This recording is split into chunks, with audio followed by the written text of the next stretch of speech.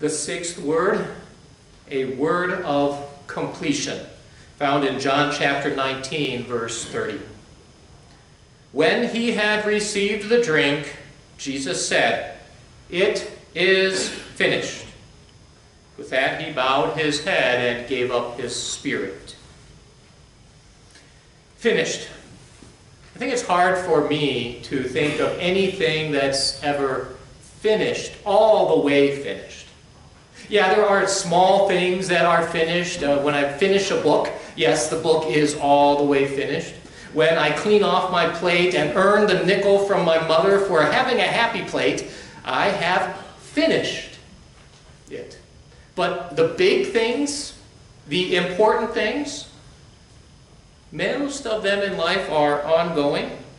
The car maintenance, the cleaning, the grocery shopping, the laundry, the learning, are they ever really finished? No. Even if I do them and do them well before long, I will need to redo them. Who of us would dare to say that we are finished working on our relationships with others?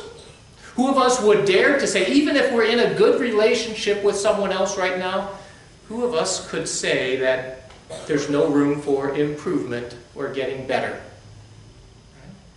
We couldn't say that our relationships are totally finished at improving them. And many people think that, uh, that that's the sort of way that we need to approach God.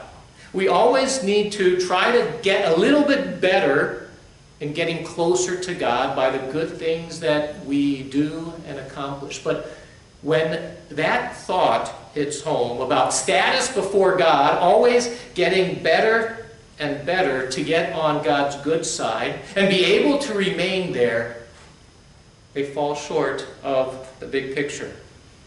That approach of always getting better to improve our relationship with God maybe may seem humble, but in fact it is wrong.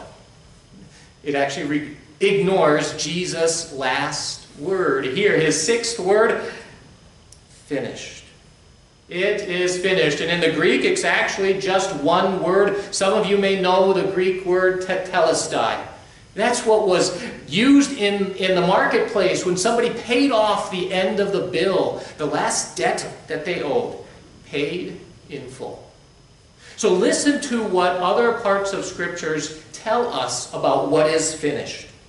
Hebrews, in the book of Hebrews, it says, Christ was sacrificed once to take away the sins of many. The priest had offered for all time one sacrifice for sins. Sacrifices for sin? Finished. Romans, the Apostle Paul says in Romans, There is now no condemnation for those who are in Christ Jesus. He was delivered, delivered over to death for our sins. Condemnation of God's law? Finished. The book of Hebrews also says, By one sacrifice, Jesus has made perfect forever those who are being made holy. The need to measure up to God's standards in life? Finished. Jesus said this word from the cross, most literally one word, paid in full. And he said it because it needed to be heard. Not by the Heavenly Father. God the Father knew that it was paid in full. He said it so that you and I would hear it and know it as well. So that when, when we wonder if those things that we need to do to approach God have been done, we know finished. Not by us, but by Jesus in our place. And when the question comes to us, perhaps even on our deathbed, we can know the truth. Yes, my payment, my way to heaven has been paid in full.